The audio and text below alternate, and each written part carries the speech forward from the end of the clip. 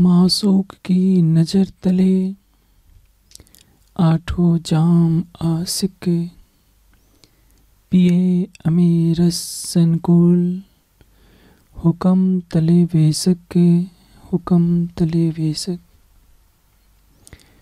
न्यारा निमक न हो वही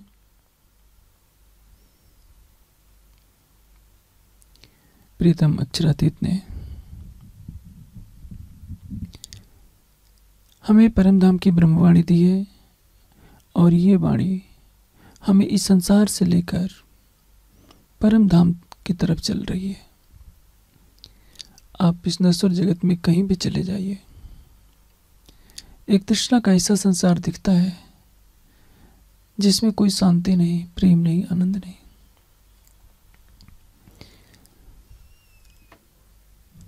प्रेम क्या है? इसको एक सामान्य से दृष्टांत से समझ सकते हैं। एक चक्रवर्ती सम्राट है, जिसकी बहुत बड़ी सेना है, अपार ऐश्वर्य है। उसे मिलना भी कठिन हो जाता है। किंतु एक बनवासी किशोरी कन्या से उसका विवाह हो जाए। जो बनवासी लड़की राजा के पास बैठने का तो दूर उसके महल के सामने भी खड़े होने में भय करती थी। अब वो चक्रवर्ती सम्राट के बगल में बैठती है। चक्रवर्ती सम्राट की अर्धांगिनी कहलाती है। संभव है किसी बात पर चक्रवर्ती सम्राट से नाराज़ भी हो जाए तो सम्राट उसे मनाने के लिए सारी शक्ति लगा देते हैं। आखिर क्या है? जो बन की एक झोपड़ी में रहने वाली थी। आज सम्राट की अर्धांगिनी बनी है। किसके बल पर? क्योंकि उसने अपनी आत्मा का संबंध उस चक्रवर्ती सम्राट से जोड़ा है। आप सोचिए, एक नश्वर सम्राट यदि एक बनवासी लड़की को ऐसा सौभाग्य दे सकता है तो जो ईश्वरों का ईश्वर है, सम्राटों का सम्राट है, अनंत ब्रह्मांडों का स्वामी है, अनंत प्रेम का सागर है, ज्ञान का सागर है, शांति का सागर है, आनंद का सागर है उससे ही यदि हमारा अटूट प्रेम हो जाए तो परिणाम क्या होगा? किंतु यह ऐसा संसार माया के नशे में चल रहा है। आप किसी को कहिए कि प्रीतम से प्रेम क्यों नहीं करते? परमात्मा के लिए समय क्यों नहीं निकालते? रटा रटाया नब्बे प्रतिशत का यही उत्तर होता है। क्या करें? काम का इतना बोझ है कि अभी कर नहीं पा रहे हैं। अभी जल्दी भी क्या है, बुढ़ापे में कर लेंगे। बुढ़ापा आ जाएगा तो क्या कहेंगे? क्या करें? कुछ पोते पोतियों की ज़िम्मेदारी आ जाती है। कमर में भी दर्द हो जाता है। शरीर में ताकत ही नहीं रह गई है।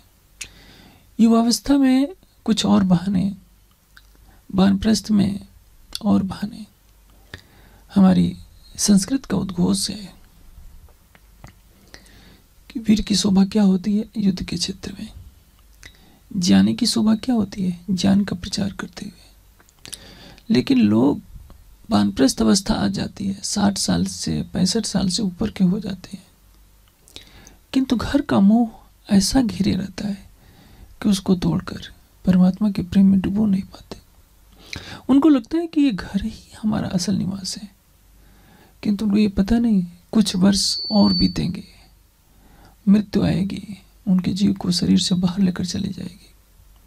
यही तो सुनहला अवसर होता है जब हम पचास की अवस्था प्राप्त कर लेते हैं, साठ की अवस्था प्राप्त कर लेते हैं तो सबसे नाता तोड़कर, एक सर्वशक्तिमान सकल गुण निधान जो हमारी आत्मा का अनादि प्रीतम है, उसके प्रेम में डूब जाए। लेकिन संसार ऐसा नहीं कर पा रहा है। अनजाने तो अनजाने बड़े बड़े विद्वान भी ये नहीं कर पा रहे हैं, क्योंकि उनको मोह का ये सागर दिखता है कि यही सुखमय है, जबकि ऐसा यह संसार है जिसमें कोई भी सुखी नहीं है। कुत्र भी को भी न सुखी। अब ये प्रकरण बहुत कुछ कहता है कि मासूक की नज़र तले आठों जाम आसिक। आसिक कौन है? जो प्रेम करता है। मासूक कौन है? जिससे प्रेम किया जाए। एक आत्मा है इस नश्वर जगत में मानव तन में। तारतम वाणी का प्रकाश पाती है। उसका जीव उस ज्ञान को लेकर। यह समझ जाता है कि सर्वशक्तिमान है तो केवल अक्षरातीत, सर्वगुण निधान है तो केवल अक्षरातीत। और हमारी आत्मिक शांति का मूल भी वही है। अब उनके नाम की वो माला जपने लगता है। और उम्र बढ़ती है, ज्ञान में परिपक्वता आती है, चिंतन में लगता है, ध्यान की तरफ़ बढ़ता है। कभी नाम में रट रहा था। अब ध्यान करने लगा है, क्योंकि चुपाई है, न्यारा निमक न हो वहीं, करने पड़े न याद। आँखों से वो दिखता नहीं, कान से उसकी अमृत धारा सुनाई नहीं पड़ती, उसकी वाणी की अमृत धारा हम हाथों से स्पर्श नहीं कर पा रहे हैं, लेकिन वाणी कुछ अजीब सी बात कह रही है कि न्यारा निमक न हो, वहीं करना पड़े न याद। एक कैसी विधा है? सारा संसार थक गया, शिष्ट के प्रारंभ से लेकर आज तक। एक अरब छियानवे करोड़ आठ लाख तिरपन हज़ार एक सौ बीस वर्ष व्यतीत हो गए सृष्टि को चलते हुए। किंतु कोई ये नहीं कह पा रहा है कि हमने अक्षरातीत के नक्शे सिख तक को देखा है। बड़े बड़े मंदिर हैं बड़े बड़े मस्जिदें हैं, गिरजाघर हैं, गुरुद्वारे हैं। लाखों की भीड़ इकट्ठी होती है कथाओं में। किसी से पूछिए, क्या तुमने सर्वशक्तिमान सचिदानंद परब्रह्म को देखा है? कहता है कि भाई, वो तो मन वाणी से परे है। उसके बारे में कहा नहीं जा सकता। यत चक्षुषा न पश्यते चक्षुन पश्यन तदेव तद इदम ब्रह्म न इदम यद इदम उपासते। आँखों से जो देखा नहीं जाता जिसकी शक्ति से आँख देखती है, वह ब्रह्म है। यत मनसा न मनुते, ये नाहु मनोमतम। तदेव तद ब्रह्म, न इदम यद इदम उपासते। मन से जिसका मनन नहीं किया जा सकता, जिसकी शक्ति से मन मनन करता है। यत वाचा न वदत ये वाक अभ्युतते वाणी जिसका कथन नहीं कर सकती, जिसकी शक्ति से वाणी बोलती है। आप सोचिए जो मन से परे है, वाणी से परे है, हमारी सभी इंद्रियों से परे है, बुद्धि से परे है। उस परब्रह्म के बारे में ये कानूनी बात कही जा रही है कि न्यारा निमक न हो ही करना पड़े ना याद। याद भी ना कीजिए, फिर भी वो एक पल के लिए अलग नहीं होता। क्या इस कथन पर कोई विश्वास करेगा? ये तो कबीरदास जी की उलटबाजियों की तरफ़ है कि बरसे कंबर भी भीगे पानी। वर्षा होती है तो कंबल भीगता है। कबीर जी कह रहे हैं कि नहीं, कंबल बरस रहा है और पानी भीग रहा है। जिस अक्षरातीत के बारे में कोई जानता नहीं, दुनिया तो कहाँ फंसी है बेचारी? उन भोले भाले पौराणिक हिंदुओं को कौन समझाएगा कि तुम्हारे ये सालिग्राम भगवान सर्वशक्तिमान सच्चिदानंद नहीं है? ये तो तुमने बनाया है। तुम्हारे ये शिवलिंग सर्वशक्तिमान कल्याणकारी शिव नहीं है? ये तुम्हारी कल्पना है। जो सबका कल्याणकारी है, जो अपनी सत्ता से व्यापक है, सारी सृष्टि का परमात्मा है, उसको पत्थरों से नहीं बनाया जा सकता। वो तो आदित्य वर्ण तमसा प्रस्ताव थे। अनंत सूर्य का प्रकाश, उसके एक कण के प्रकाश के समकक्ष भी फीका पड़ता है। ऐसे सर्वशक्तिमान परमात्मा को दुनिया बेचारी खोज रही है, पत्थरों में खोज रही है। मंदिरों में, मस्जिदों में, गिरजाघरों में उसको खोजती फिर रही है।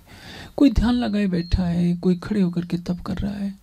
वो मिल नहीं पा रहा है। फिर भी हम यहाँ कह रहे हैं कि न्यारा निमक न हो वहीं, एक क्षण के लिए भी। जो हमारा मासूक है, हमसे अलग नहीं होता।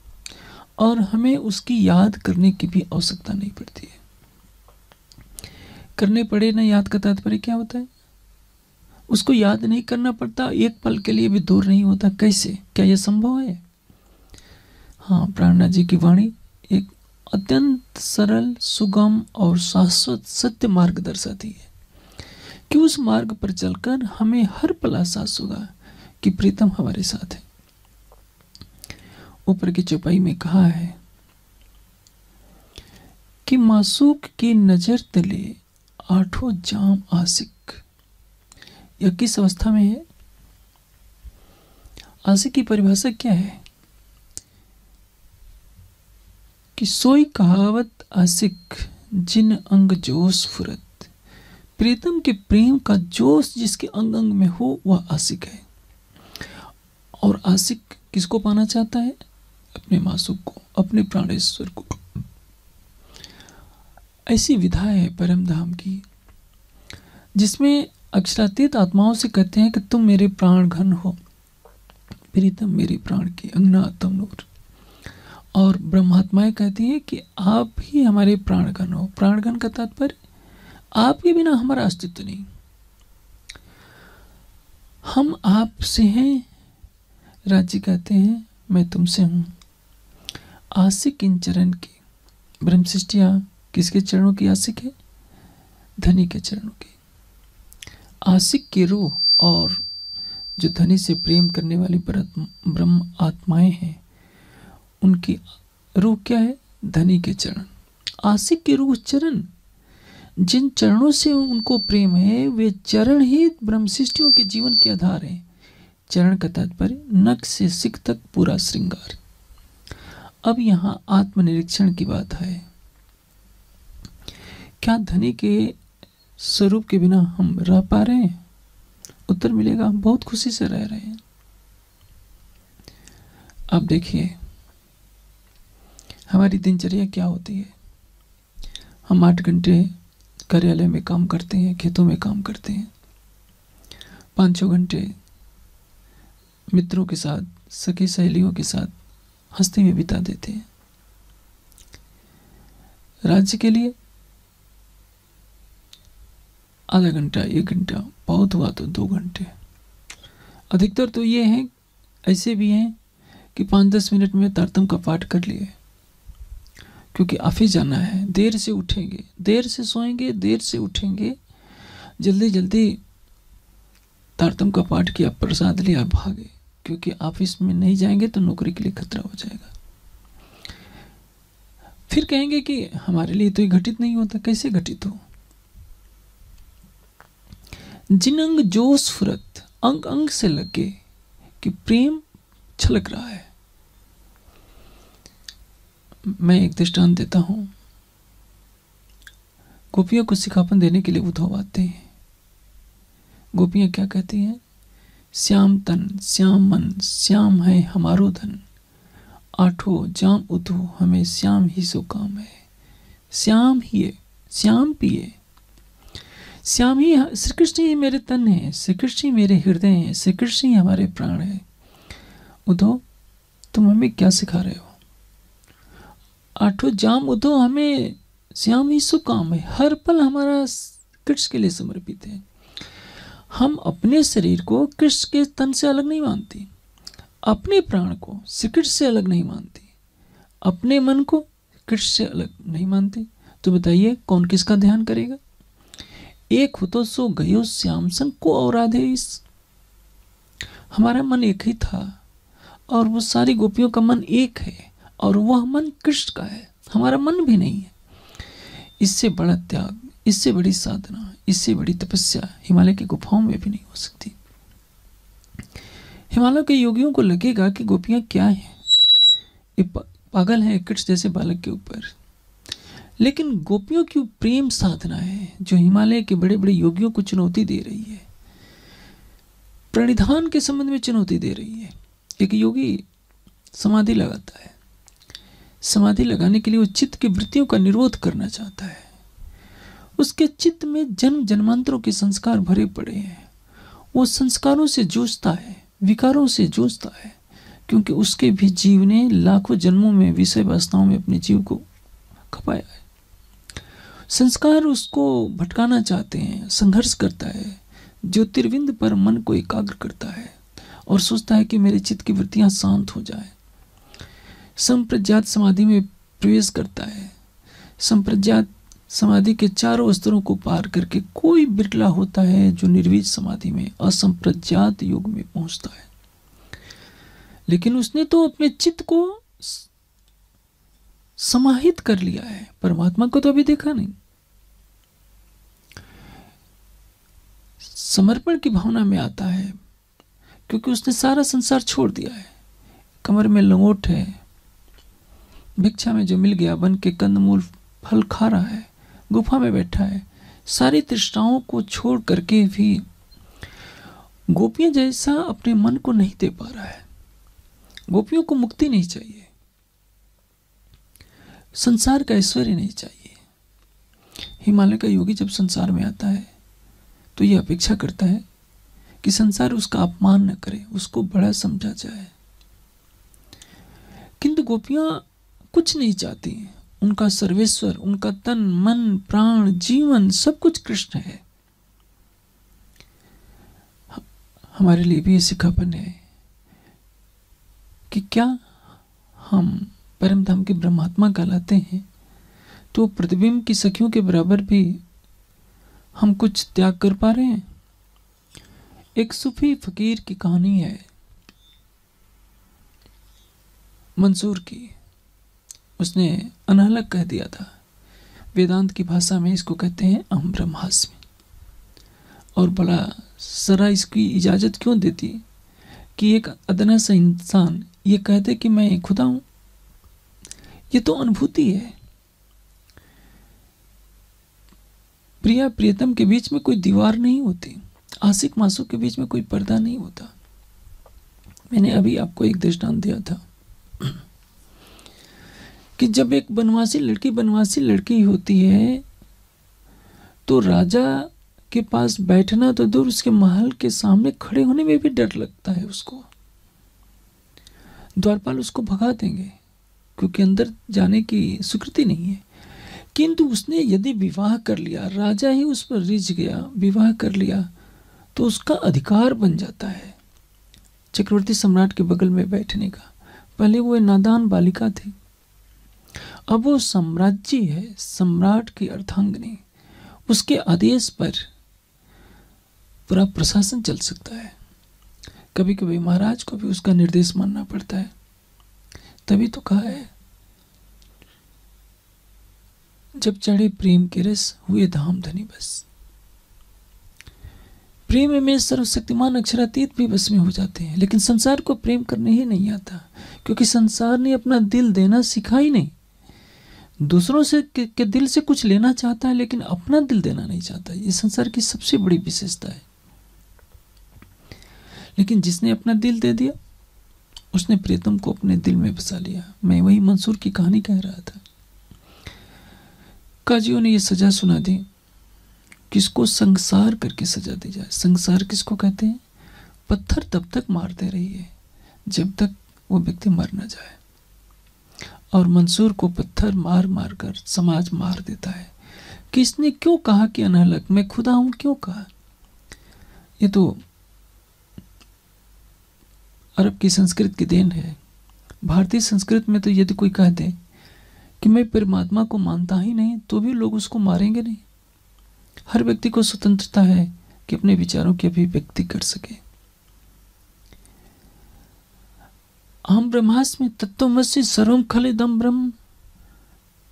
ये तो भारतीय संस्कृत का उद्घोष है। जब लोहा अग्नि में तपेगा तो लोहा लोहा थोड़ी रहेगा। वो तो अग्नि के गुणों के साथ धर्मता को प्राप्त कर। अग्नि के समान धाकने लगता है। फिर लोहा तो कहेगा ही कि मैं भी आग जैसा ही हूँ। वही हूँ। आग में और मेरे में अंदर अंदर कोई भी नहीं है। अब मंसूर को मार दिया जाता है। जब उसको ज़मीन में दफनाया जा रहा होता है तो दफनाने के बाद आवाज़ आ रही है, अनहलक अनहलक, अब बहुत परेशान, सारे मौलवी क्या करें? उसको सोचते कि जला दिया जाए और राख को चारों तरफ़ फेंक दिया जाए। जला देते हैं। राख को मिट्टी में गाड़ते हैं। राख से आवाज़ आ रही है, अनहलक अनहलक। मैं इस घटना का प्रत्यक्ष प्रत्यक्ष दर्शी तो नहीं लेकिन सुना है ऐसी ही घटना है। अब मौलवी लोग का समूह बहुत परेशान, करें क्या? उस राख को पानी में बहा देते हैं। लेकिन जहाँ जहाँ राख जाती है, वहाँ, वहाँ से आवाज़ आती है। अनलग अनलग मैं खुदा हूँ, मैं खुदा हूँ। यह तो एक दृष्टांत है। क्योंकि उस सूफी फकीर मंसूर ने अपने हृदय में अपने अल्लाह ताला को बसा लिया था। संभव है उसने अल्लाह की सूरत न देखी हो। लेकिन रोम रोम में उसका विरह बसता था, उसका प्रेम बसता था। जहाँ सूफी की बंदगी है, वहाँ शरीयत का नियम नहीं चलता। न रख रोजा, न मरबू का, न सजदा कर तो मस्जिद में। किताबें फेंक, तस्वीर तोड़, लगाकर इश्क के झाड़ू हिर से दिल को सफ़ा कर। केवल दंड बैठक करते रहने से थोड़े अल्लाह ताला मिलने वाला है। लेकिन जो नमाज़ पढ़ते हैं, वो सोचते हैं कि उनसे ऊपर कोई नहीं है। ये तो प्राथमिक कक्षा है बच्चों के लिए। लेकिन शरीयत की दुनिया में यही सर्वोपरियाज माना जाता है। तरीकत में कौन प्रवेश करे? वाणी का मार्ग तो हकीकत और मार्फत का है। हिंदुओं में जो कर्मकांडी लोग होते हैं, वो तिलक लगा लेते हैं, माला जप लेकर के जप करने लगते हैं। अहंकार इतना कि सोचते हैं कि मेरे से बड़ा भक्त कोई संसार में है ही नहीं। और सबको धमकी भी देते हैं कि तुमने तिलक नहीं लगाया, तुमने गले में कंठी नहीं पहनी, तुमने हाथ में माला नहीं फेरी। अरे भाई, ये तो बच्चों के मनोरंजन के लिए है। इससे अध्यात्म का क्या संबंध है? चारों वेदों में, उपनिषदों में, दर्शन शास्त्रों में, नारद भक्त सूक्त में कहीं क्या लिखा है? गले में माला पहन लो, घंटी घड़ियाल बजा लो। सबको दिखाते फिरो कि देखो मैं भगत जी हूँ आ गया हूँ। ये भक्ति नहीं है। ये तो दिखावे की भक्ति है। ये प्रेम नहीं है। प्रेम का तात्पर्य क्या है? कल मैंने चर्चा में कहा था कि जब हमारी अंतर्दृष्टि अपने प्राणेश्वर को एकटक देखने लगे, इसको कोई लक्षण जो नैनो पलक न ले। हमारी पलक एक पल के लिए भी हमारी दृष्टि को ढकने न पाए। अपलक नेत्रों से, आत्मा के अपलक नेत्रों से प्राणेश्वर को देखना ही प्रेम है। और देखने का उद्देश्य क्या होता है? जो हमारे प्राणेश्वर के हृदय में बसता है, वो हमारे हृदय में भी आ जाएगा। उसके हृदय में अनंत आनंद बसता है, वो आनंद हमारे हृदय में आ जाएगा। उसके हृदय में अनंत प्रेम बसता है, वो प्रेम हमारे अंदर आ जाएगा। उसके हृदय में निर्विकारता है, उसका नाम लेने मात्र से हृदय निर्विकार हो जाता है, हमारा हृदय भी वैसा ही हो जाएगा। इसको कहते हैं प्रेम, और संसार से होता नहीं। जिनका मन चंचल होता है, उनको कहता है कि, अरे भाई, माला ले लो, किसी ने तुमसे पता नहीं चलता तो 108 बार अपने इष्ट का नाम ले लो। ये तो प्राइमरी की क्लास में सिखाया दिया जाता है। क्या जीवन भर यही करते रहना है? केवल माला ही फेरते रहना है? माला फेरत युग भया फिरा न मन का फेर। हमारा मन संसार में लगा हुआ है, उधर से हटना नहीं चाहता, और लकड़ी की माला हम घुमा रहे हैं। कबीर जी कहते हैं कि कर का मन का डार दे। अपने हाथ में जो तुमने ये दानों की माला ले रखी है, उसको हटा दो। मन का मन का फेर। और मन की माला को फेरो, मन को इधर से हटाकर उधर कर दो।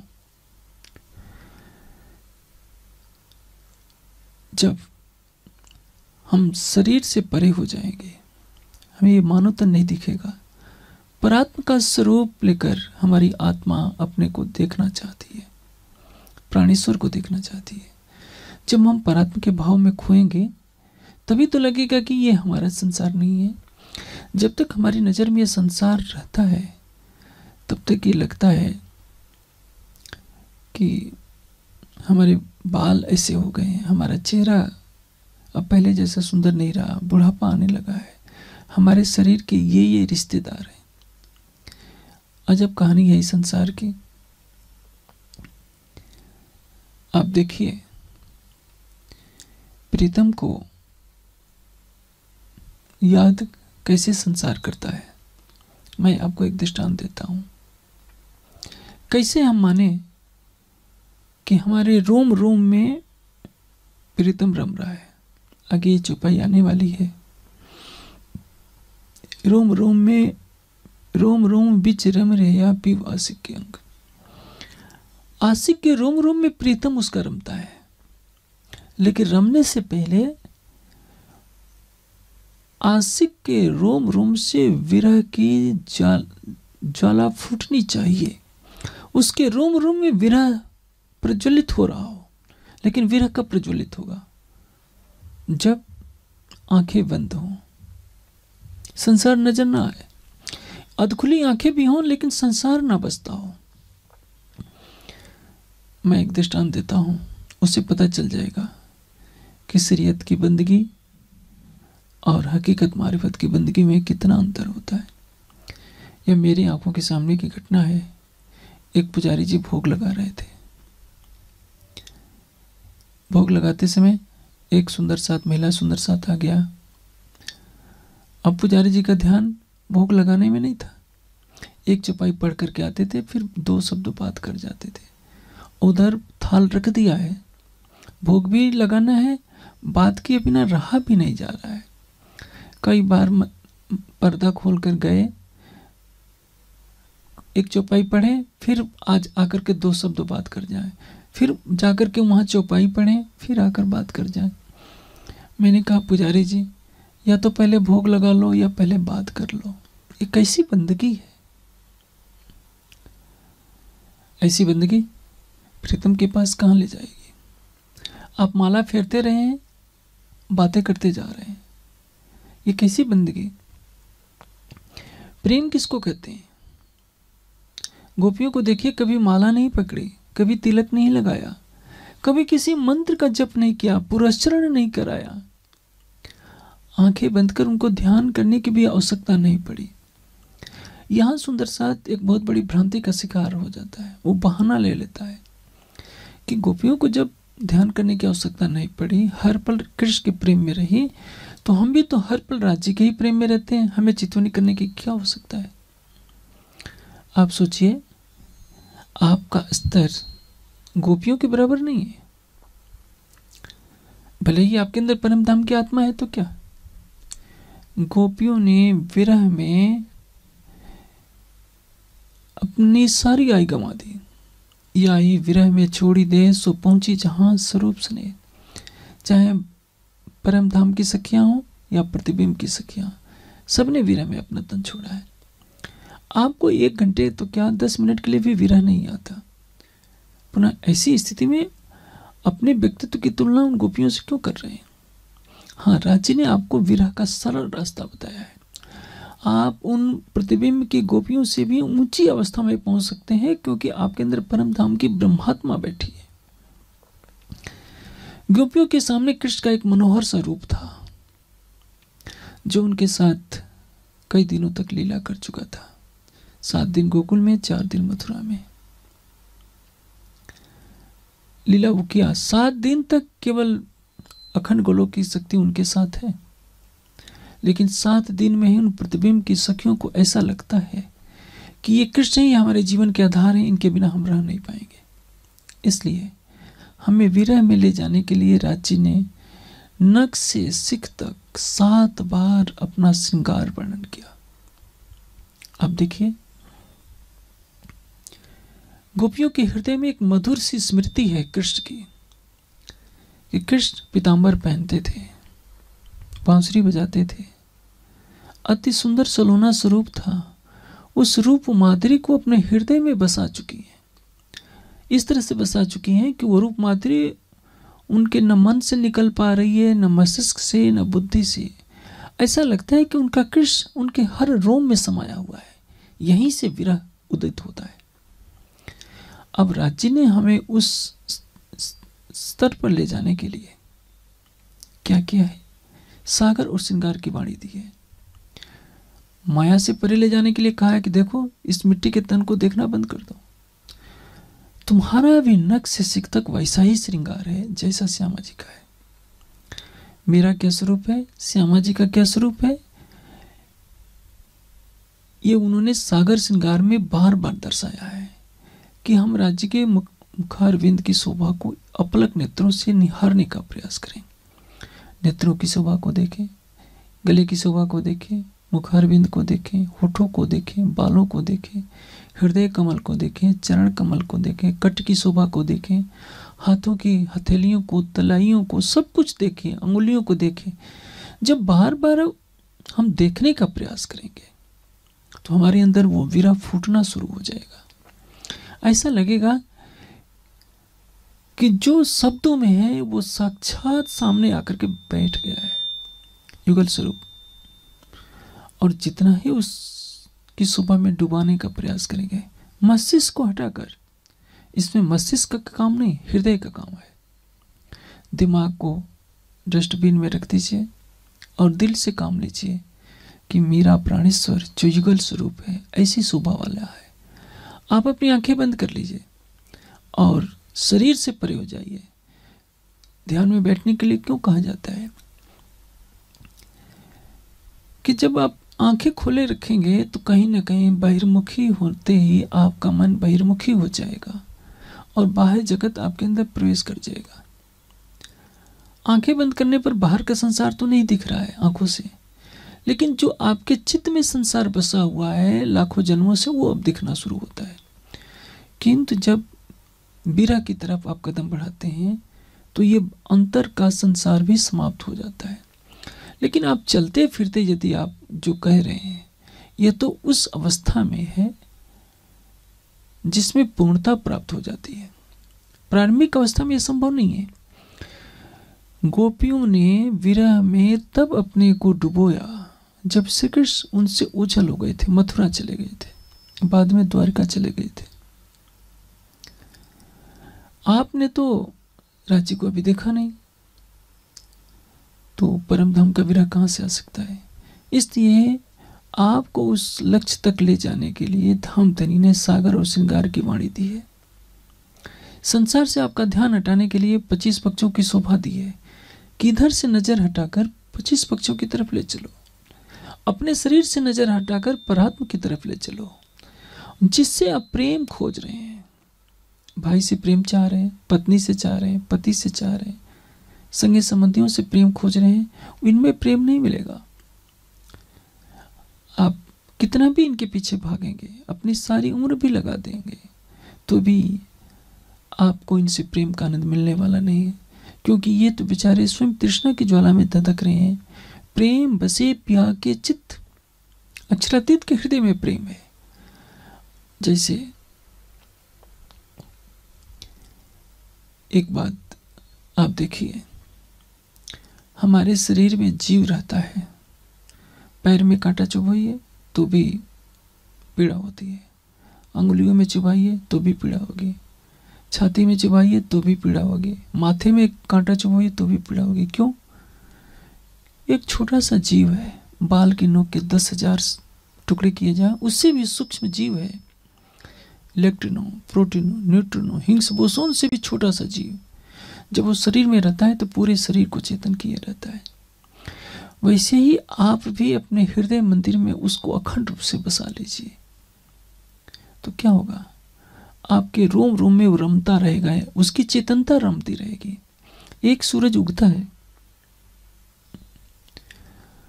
पूरे भारत में प्रकाशित होता है। आप श्रीनगर में भी देखेंगे तो वही सूरज। पृथ्वी के आधे गोलार्ध को प्रकाशित करता है। और पृथ्वी जैसे न जाने कितने लाखों नक्षत्रों में उसका प्रकाश जाता है। अमेरिका में जिस समय रात्रि होती है, भारत में दिन होता है। इस समय भारत में दिन है। तो आप भारत के किसी कोने में जाइए, चाइना में जाइए, जापान में जाइए, पाकिस्तान में जाइए, हर जगह वही सूरज दिख रहा है। है वो आकाश में। लेकिन प्रकाश तो उसका सर्वत्र है। अपने हृदय मंदिर में उसकी शोभा को बसा लीजिए। आपका मन ही तो शरीर को देख रहा है, जिसके मन मंदिर में प्रीतम बस जाए। आत्मा के धाम हृदय में प्रीतम बस जाए तो उसके रोम रोम में तो वही बसता है। और कुछ नहीं बसता, माया का प्रवेश नहीं होता। जैसे सूर्य उदय होता है, पूरे भारत से अंधेरा चला जाता है। उसी तरह से हृदय मंदिर में प्रीतम के बसते ही माया का अंधकार नहीं रहेगा। जिस हृदय में लाखों जन्मों से वासनाएँ बसा करती थी, काम, क्रोध, मद, लोभ, अहंकार के प्रबल तूफ़ान उठा करते थे, अब वे हमेशा के लिए समाप्त हो जाते हैं। उस मन मंदिर में केवल प्रीतम की छवि बसी रहती है और उसको बसाने के लिए चितवनी की तरफ़ हमें कदम बढ़ाना पड़ता है। चितवनी बौद्धिक कोई कारीगरी नहीं है। इसमें बुद्धि की आवश्यकता नहीं है। हृदय के समर्पण की आवश्यकता है। जैसे गोपियों ने अपना समर्पण कृष्ण के प्रति किया था। उन्होंने अपना मन श्री कृष्ण के साथ जोड़ा। उन गोपियों को कोई चाहत नहीं है। वो श्री कृष्ण से संसार की कोई वस्तु नहीं चाहती। श्री कृष्ण का केवल प्रेम चाहती है। आप चितवनी करते हैं तो क्या आप चाहते हैं? केवल राज्य का प्रेम। कोई चाहता है हमें परम धाम का दर्शन हो जाए। परम धाम वाले से कम प्रेम है। परम धाम से ज़्यादा प्रेम है। कोई चाहता है कि राज्य दर्शन दे दे तो हमको इतना बड़ा बना दें कि मैं अमीरुल मोमनीन हो जाऊँ, सब सुंदर साथ में सरोपर हो जाऊँ जगह जगह मेरी जयकार हो। सुंदर साथ मुझे समझे कि मेरे जैसा कोई जागृत ही नहीं है। ये सारी कामनाएँ प्रेम में बाधक हैं गोपियों को कुछ नहीं चाहिए। उनका कृष्ण मथुरा में रहता है। कई वर्षों के पश्चात द्वारका भी चला जाता है। फिर भी गोपियों के मुख से एक ही आवाज़ आती है, कृष्ण मेरा है। हमारा तन कृष्ण का है, हमारा मन कृष्ण का है, हमारे प्राण कृष्ण के हैं। कभी कृष्ण से कोई चाहत नहीं, एक तिनके की भी चाहत नहीं है। कृष्ण से केवल कृष्ण चाहिए। संसार के भक्तों से कहाँ होगा? वो तो दो मिनट के लिए आँख बंद करेंगे, तारतम का पाठ करेंगे, एक नारियल चढ़ा देंगे, कह देंगे कि, राज जी, ये काम हमारा पूरा कर दो। ये प्रेम क्या हुआ? ये तो सौदेबाजी हो गई। न्यारा निमक न हो वही करना पड़े न याद। किसके लिए? याद किसको नहीं करना पड़ता है? जो अपने हृदय में बसा चुका है, वो क्या याद करेगा? लेकिन, जैसे मैंने अभी थोड़ी देर पहले कहा था, सुंदर साथ को एक बहाना ढूंढना पड़ता है। अरे, हम तो चलते फिरते राज्य को बसाए रहते हैं। हमें कुछ करने की ज़रूरत नहीं। तो ये ऐसा नहीं होगा। न्यारा निमक न हो वहीं करना पड़े न याद। आसिक को मासूक का कुछ इनविध लाग गया स्वाद। आसिक को मासूक का कुछ इनविध लग गया स्वाद। आसिक कौन है? आत्मा। आसिक को मासूक का प्रेम का, स्वाद ऐसा लग गया है कि प्रेम किसको कहते हैं? अभी ऊपर की चौपाई में कहा था, मासूक की नज़र तले आठों जाम आसिक। अष्टपहर अक्षरातीत के नक से सिख तक की शोभा को आत्मा देख रही है। पिए अमेर संकुल अमृत रस। अक्षरातीत के हृदय से, जो अमृत का अनंत सागर प्रवाहित हो रहा है, नेत्रों के माध्यम से वो आत्मा देख रही होती है। आसिक आत्मा है मासुक उसके प्रीतम है। मासुक की नज़र में वो खोई हुई है। मासुक की दृष्टि से अपनी दृष्टि जोड़कर वो हृदय के सागर में डुबकी लगा रही है। आठों सागरों में वो गोते खा रही है। नापना चाहती है अपने प्राणेश्वर को। और जिसने अपना हृदय दे दिया।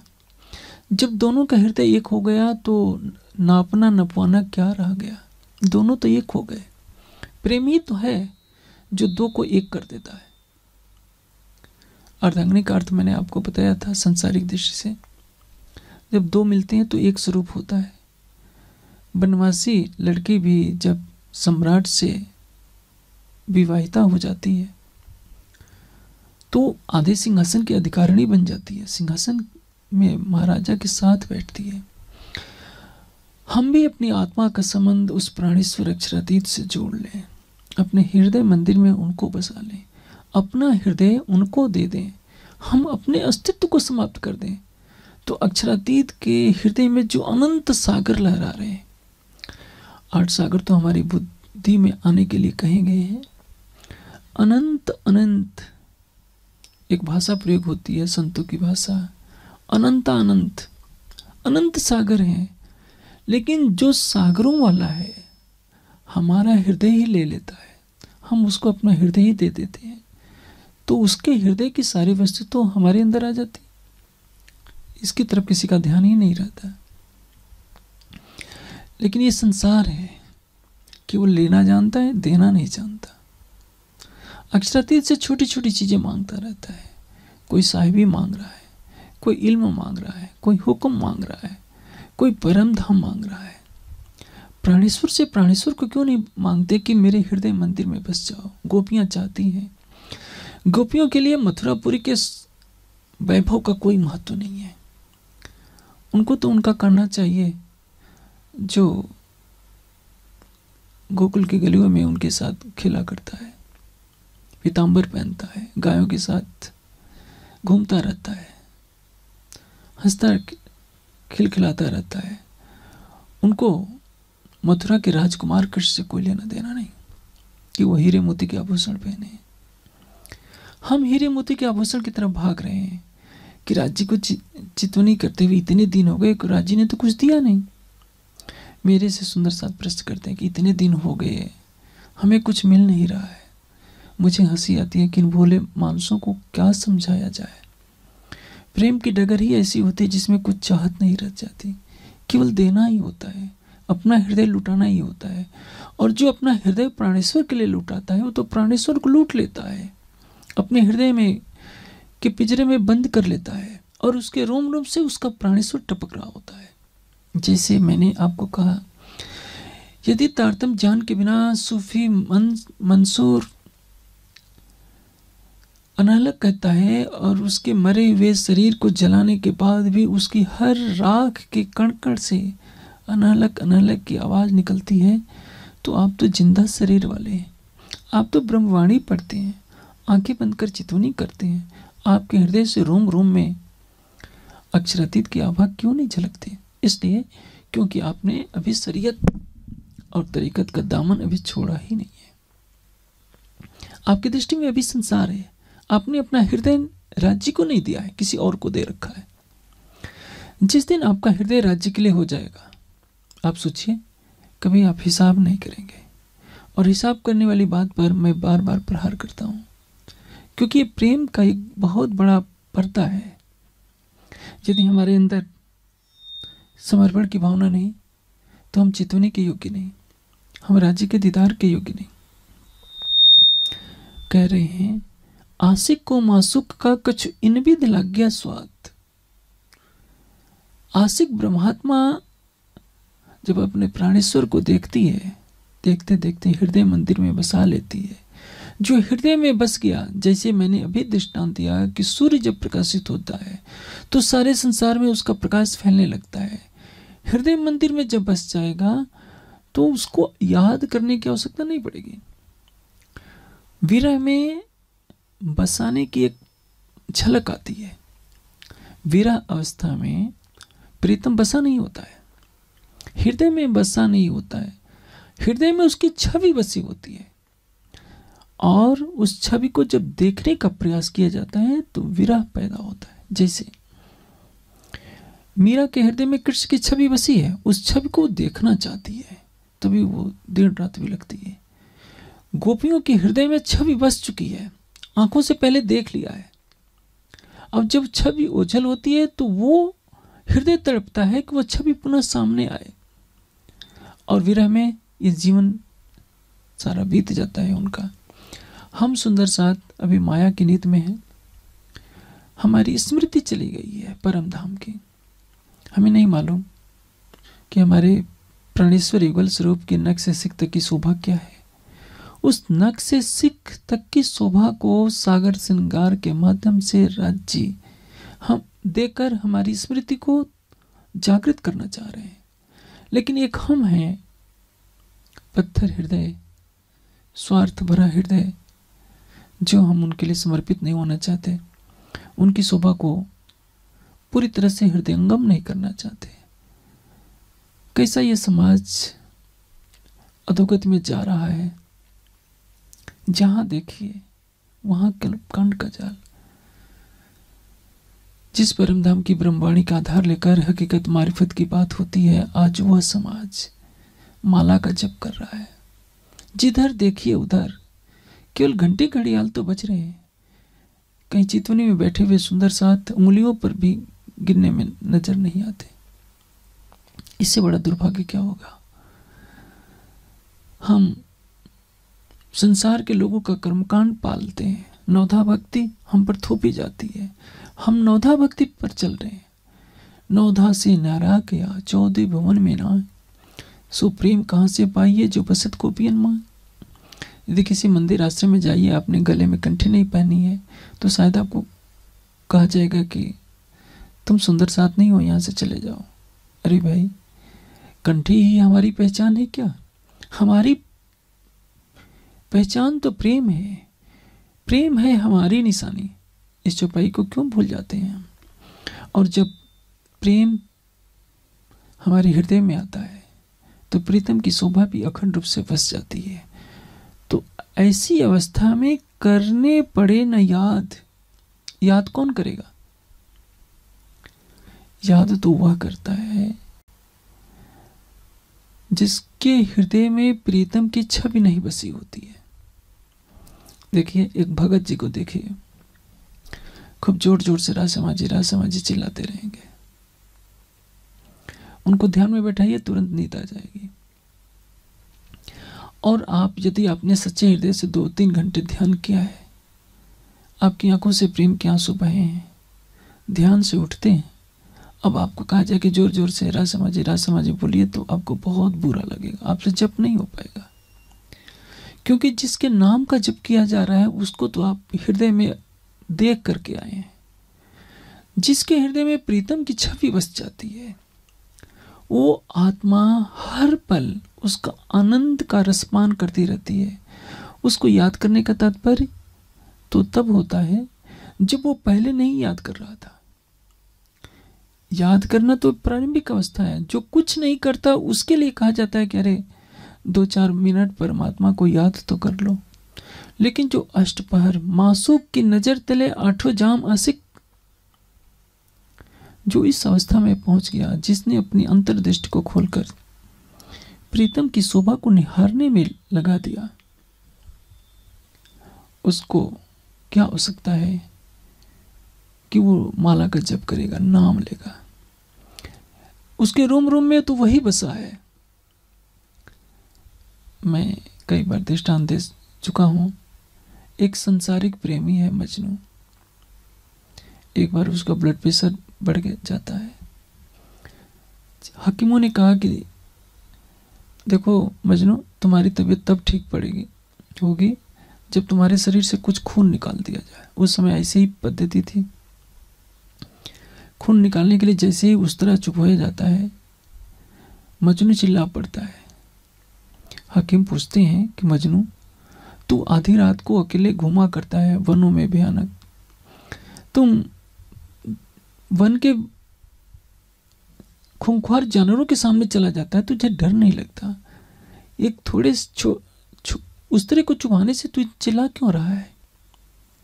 मजनू बोलता है वो हमारी आँखें खोलने के लिए। क्या किम जी मुझे मरने से डर नहीं लगता? ये जो उस तरह चुभा रहे हो मेरी रक्त की हर बूंद में मेरी लैला बसती है। और जब ये उस तरह चुभाओगे तो उसको कष्ट होगा। आप सोचिए, एक संसारिक प्रेमी है। उस बेचारे को अध्यात्म का एक प्राथमिक अक्षर भी नहीं मालूम है। लेकिन कितनी ऊँची बात कह दिया अपनी संसारिकता के माध्यम से।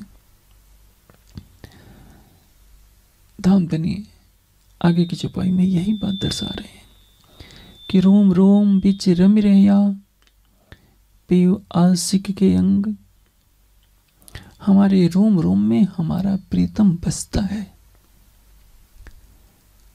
ये भावात्मक रूप से है। इसको चरितार्थ करना होगा चितवनी के द्वारा।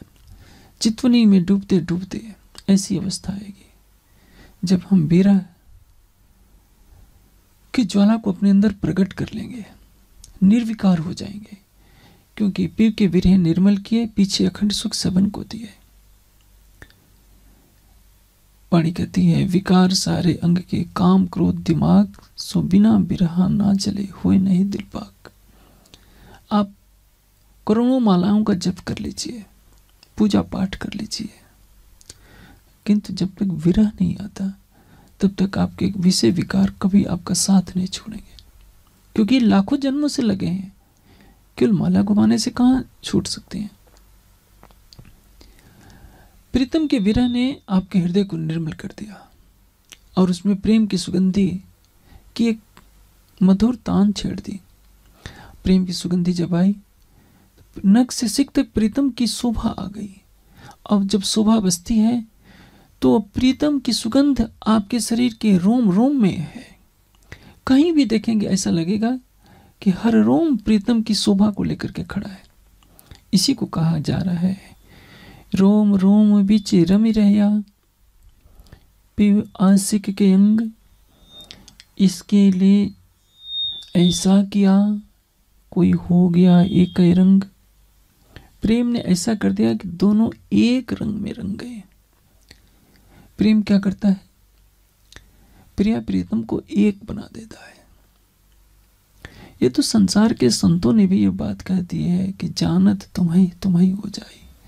तुमको जानने वाला तुम्हारे समान हो जाता है। वेदांती बार बार इस वाक्य को दोहराया करते हैं, हम ब्रह्मास्मि। ब्रह्मविदो ब्रह्म एव भवती, ये उपनिषदों का उद्घोष है। ब्रह्म को यथार्थ रूप में जानने वाला ब्रह्म जैसा ही हो जाता है। ब्रह्म जैसा आनंदमय, ब्रह्म जैसा करुणामय, ब्रह्म जैसा प्रेममयी। हम, सुंदर साथ परम धाम की ब्रह्मात्मा कर लेते हैं। हम वाणी भी पढ़ते हैं, फिर भी हमारे अंदर घृणा के विकार हैं।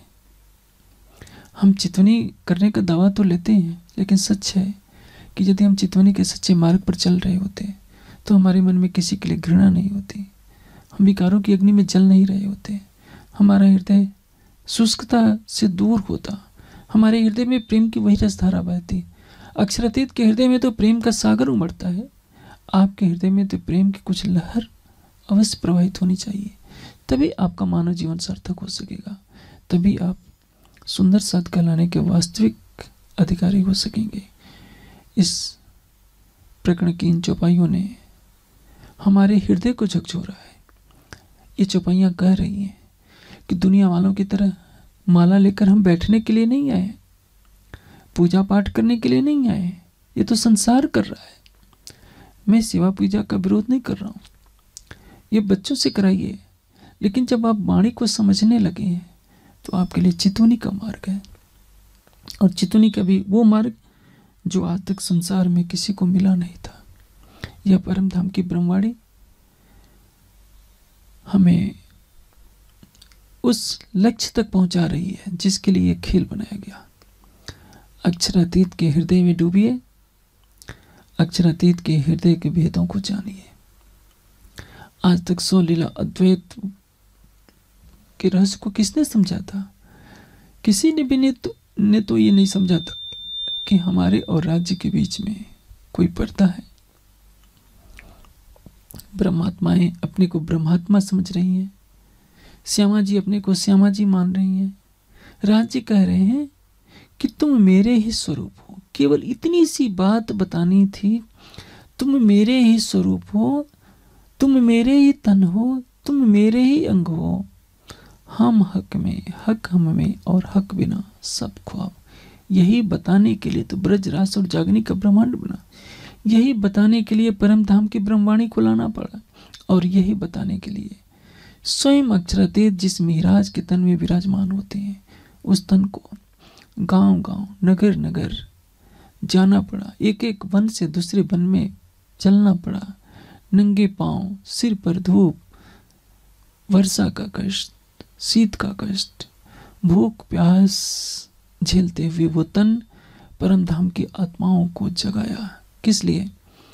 क्योंकि हम परम धाम की उस अमृतमयी वाणी को सुन सकें, सागर श्रृंगार को आत्मसात कर सके, अपने जीवन में उसको उतार सके और यहीं बैठे बैठे प्रीतम अक्षरातीत के प्रेम में इस प्रकार डूब जाए कि हमारे रोम रोम में वही बसा रहे, ताकि जब परात्मा में जगे तो इस लज्जा से हमें सिर न झुकाना पड़े कि हमसे ज़्यादा विरह की अग्नि में तो प्रतिबिंब की सखियों ने अपने को दिया था। संसार के जीव भी हमारी हँसी न करने पाए, लेकिन हम वाणी के अवतरण के पश्चात भी जानबूझकर अपनी हँसी करवा रहे अनजाने व्यक्ति को तो गलती होने पर क्षमा हो सकती है। लेकिन जब आज सुंदर साथ सागर श्रृंगार की वाणी पढ़ रहा है तो उसको आत्मसात करना होगा, चिंतन करना होगा कि आखिर सागर श्रृंगार का निर्देश क्या है। क्या नौदा भक्ति? आज नवता भक्ति का चारों तरफ़ ज़ोर शोर से प्रचार किया जा रहा है। कहीं भी बड़े बड़े कार्यक्रम होते हैं, करोड़ों रुपये उसमें खर्च हो जाते हैं और सबको बैठा दिया जाता है। कि माला पा जप कर लो, इतने पाठ कर लो। आप आपको गले में मालाएँ पहना दी जाती है। ये परम धाम की राह नहीं है। ये तो संसार वालों की राह है, बैकुंठ की राह है, निराकार वालों का मार्ग है। आपको परम धाम की ब्रह्मवाणी मिली है। वाणी यही बता रही है कि प्रतिबिंब की गोपियों ने आपके लिए एक चुनौती पेश की है। उन्होंने अपना तन मन सब कुछ कृष्ण को दिया। आप भी अपना तन मन हृदय अपने प्राणेश्वर अक्षरातीत को दीजिए, उसको हृदय में बसाइए, उसकी शोभा में स्वयं को इतना डुबो दीजिए कि आपको याद करने की आवश्यकता ही नहीं पड़े, क्योंकि याद तो उसको किया जाता है जो दूसरा हो। आप तो वही हैं। क्या आप अपने को याद करेंगे? आप अपने जयकारे लगवाएँगे? आप अपने ही नाम की क्या माला जपेंगे? माला तो इष्ट की जपी जाती है। अक्षरातीत आपके इष्ट नहीं है। अक्षरातीत आपके परमात्मा नहीं है। अक्षरातीत आपके हृदय हैं। आप अक्षरातीत की हृदयश्वरी हैं। प्राणाधिका है। प्राणेश्वरी हैं। और यदि आप इस स्वरूप को समझ जाएँ कि आप कौन हैं तो शायद नौदा भक्ति से आपको सो दूर हो जाए। लेकिन इसके लिए पहली शर्त है, आप अपना हृदय राज्य को दीजिए। राज्य को हृदय भी नहीं देंगे नौदा भक्ति नहीं करेंगे तो परिणाम क्या होगा? न इधर के रहेंगे, न उधर के रहेंगे। इसलिए आवश्यकता है सुंदर साथ अपने कर्मकांड की पगडंडियों को छोड़कर। जो परम धाम का सरल, सीधा और सुंदर मार्ग है प्रेममयी चित्वनी उस पर अपने कदम बढ़ाए, अपनी आत्मा को जागृत करें और अपने हृदय में अपने प्राण वल्लभ को इस तरह से बसा ले कि मंसूर का विजीव सोचे कि मैंने जो चुनौती परम धाम की ब्रह्मात्माओं के लिए पेश की थी, उस चुनौती की भी चुनौती मिल चुकी है। किंतु यदि हम अपने लक्ष्य में सफल नहीं हुए तो याद रखिए, मंसूर भी हमारी हँसी उड़ाएगा। मीरा भी हँसी उड़ाएगी। प्रतिबिंब की सखियाँ भी बहुत देर हँसी करेंगी कि हमने परम धाम की ब्रह्मात्माओं का प्रेम देखा है। न तो उनके पास विरह था, न प्रेम था, न चितवनी थी। वे तो शरीर में ही खोए रहे, शरीर से परे होकर। उन्होंने अपना हृदय देना सीखा ही नहीं। मैं आशा करता हूँ कि सब सुंदर साथ इस चौपाई को अंगीकार करेंगे। इसके भाव में स्वयं को डुबोने का प्रयास करेंगे।